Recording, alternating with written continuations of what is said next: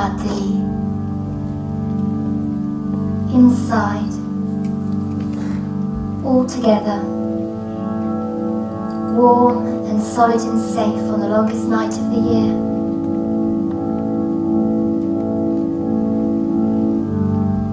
It's a tradition. Andrew holds his dinner every year. It's reassuring. It tells them that the worst is over that the daylight's on its way back, that they're going to make it. That's what they tell themselves. Guardate. Andrew's going to raise a toast to each of them.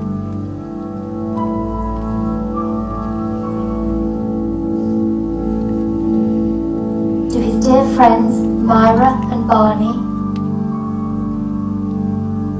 To. He's forgotten his name.